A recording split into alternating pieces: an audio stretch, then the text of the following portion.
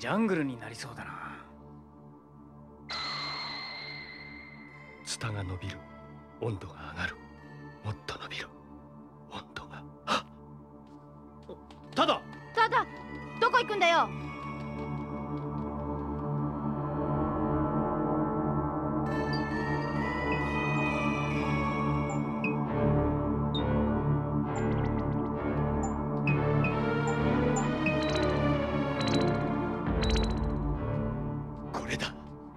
何調べてるんだ？電動図電動ズタセグル系の温帯酸鉱物性植物。人工改良種は銅ニクロムの代わりに配線に使用される。表皮は熱をよく吸収してツタの発育を促すが一定熱量に達すると自己防衛のため表皮が白い結晶体を作り出して断熱を行う。この結晶体には発見者デルの名を取ったデル赤斑病のウイルスがしばしば発生する。デル赤斑病予防薬は弱性ウイルスの接種から採取したワクチン。数が限られています。マウスがもういません。ワクチン。マウスがマウスがもういません。マウスが。マウスがもういません。子供だけでまだ500人以上いるんです。マウスから作るワクチンは200人分もありません。4歳以下の子供の分しか1週間以内に救助船が来なければこの船は全滅です。デル赤斑病は空気伝染ですからね。遺体をどこへ置きますか？真空パックの数は2000もありません。すぐ銃を密封するんだ。急げ！はっドクターワクチンをくれ。俺の息子は8歳なんだ。ドクタ私の家族はどうなるんだ？ーいかん。マウスのケースに触っちゃいか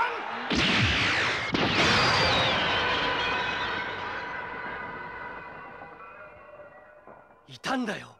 ただどうしたんだ？いたんだよ。この船にいたんだよ。ただしっかりしろ。ただただただ。ただ？ただ？ただ？母さん。さあお飲みなさい坊や。このワクチンを。さあ。坊や。忘れていたんだ。何もかも。失っていたんだ。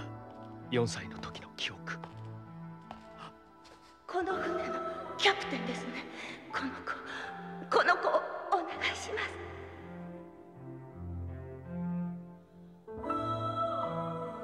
す。長老！母さん母さん！マウスがいないんだ。11人いるのに。11人いるのに。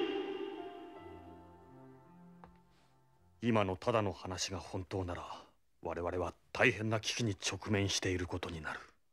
乗員乗客の9割が死亡していたなんてえらい事件じゃないか。寺家の君たちは知らなかったのか。無理言うな。その頃俺たちは4歳やそこらだぜ。死の船だったんだな。このエスペランサ号は。電動ズタに関する実験結果が出た。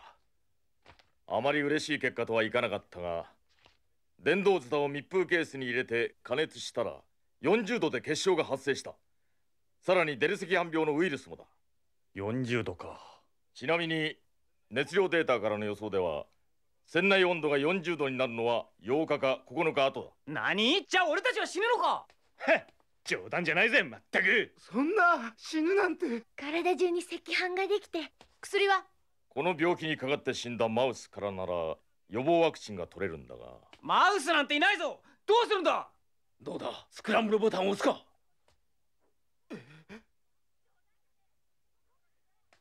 冗談じゃねえ。不合格になれってのか？最終テストのここまで来てよ。ででも。バカ野郎。俺は王様みたいに遊びでテスト受けてんじゃねえんだぞ。私は私の名誉をかけているんだ。こっちとら一生の問題だい。男になるか女になるか。まだ考える時間はあるぜ。そうだ。まだ押すのは早い。そうだ 大丈夫だよ。だよ長老僕たちはどうしたらいいんですか？コスモアカデミーを受けろと言われたあなたは僕がこの船に乗ることを予知されていたんですか？こいつを直さなきゃならんのか？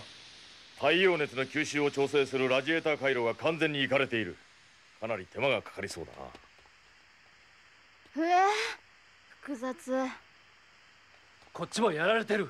修理した跡があるな前の連中も必死だったんだろうさ。急激に熱量が移動したせいでぶっ壊れちまったらしいや。ワープの失敗が原因かもな。いきなりあの太陽に出くわしたのかもしれんな。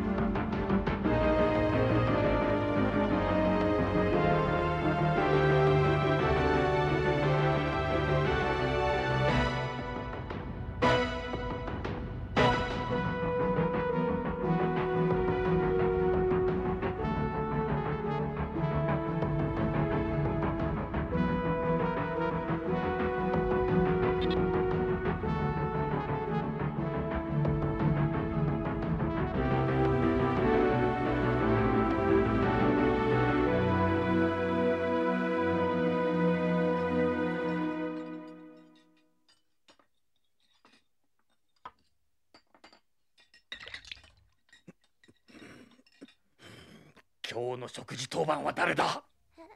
あスープの中にフォークが入っているぞ。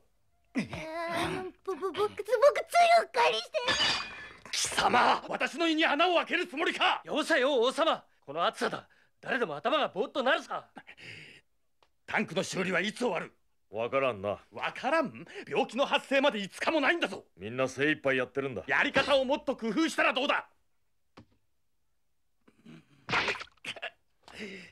誰だ？いい加減にしな。あんたは自分の国じゃ王様かもしんねえけどよ。ここじゃ実践的知識何一つ持たねえデクノボーじゃねえか。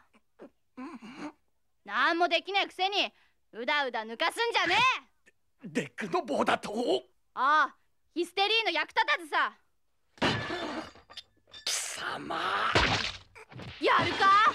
このキザ野郎なんてことするんだ？てめえもやっか？よせフロル。てめえやりやがったな。こんにゃろ音声つけ。おいみんなここは冷静に話し合おうではないか。せいしやったなやっちまえけっ僕の作った料理に何するんですか？なんだよ大体サバの味付けは俺には合わねえんだよ。男が味ぐらいのことでガタガタ言うんじゃねやめんか貴様ら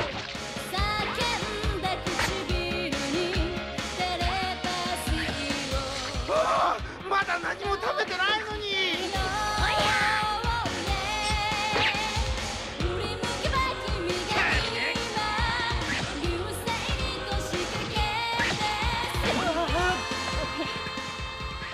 みんないい加減にしろ。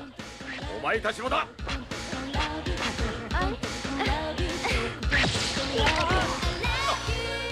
どうなるんだ俺たち定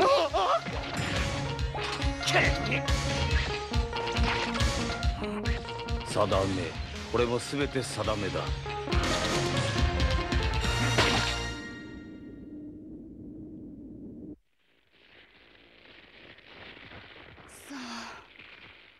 頭がクラクラする。